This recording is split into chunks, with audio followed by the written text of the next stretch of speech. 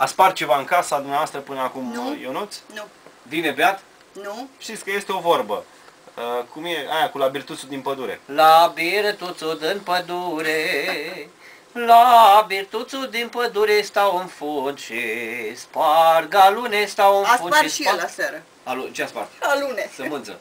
Și mai e aia cu că vin acasă. A, nu.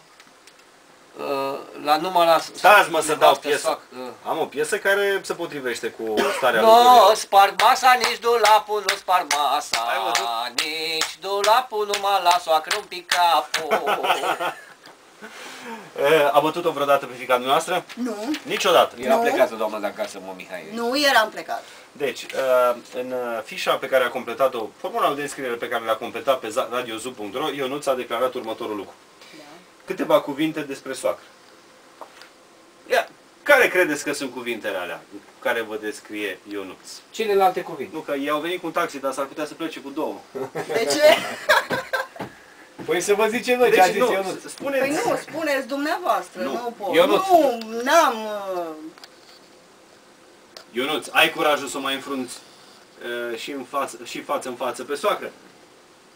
La ce v-am spus dumneavoastră la telefon? Da. Nu la telefon, ci ai completat în formularul de înscriere.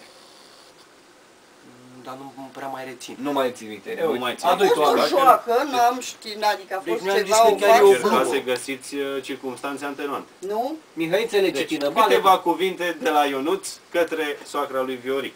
E tupeistă, Fo, corect? Da. să vede. Rea, Nu? arogantă, Nu cred. Ambițioasă, Asta da. ca o soacră care mă ține sub papuc și enervantă. Ionuț, îți susții declarațiile? Da. Bravo, uite, îmi Doamne. place că e plin de Da. curaj. Ce părere aveți?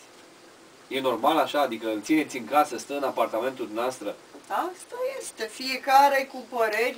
Eu ce pot să spun? Dacă ar fi să schimbe ceva la soacră sa, Ionuț ar schimba gelozia și răutatea. E prea geloasă cu socru. Bă, dar n-ai încercat să explici că socrul e băiat bun. Eu am încercat, dar acum fiecare cu... Și știi de ce? Cred că socrul e un fel de paratrăznet în familia asta. De ce? Uh, pentru că uh, Toate se sparg în capul lui. paratrăznetul nu e masculin de la parașut, atenție. Deci, e un paratrăznet pentru că Practic, conflictul dintre dumneavoastră și Ionuț este mult, mult atenuat din cauza că dumneavoastră vă certați mai des cu soțul nostru, adică cu socru. Și nu aveți timp să mai, nu mai Nu vă ne rămân certăm. nervi și vorbe grele pentru Ionuț. Nu? Nu ne certăm. V-am spus, suntem o familie De câți unită, ani nu? sunteți căsătorită? De 26 de ani. 26 Da. de ani cu soțul dumneavoastră. Da. Credeți că în 26 de ani soțul nostru a fost fidel sau nu? Eu cred că a fost fidel. Serviciului. Hm? Doamnă, sunt 26 de ani de căsătorie. Uh, da, uh, Am fost tot timpul împreună, lucrăm Dați-mi voie să vă împreună. spun peste ce o Da, naivă. Poftiți? Sunteți naivă dacă credeți asta. Ori n-a avut ocazia, ori a pierdut ocazia. o, a pierdut ocazia, da. Uh, Daniel, ești mult prea rău. Ce vrei?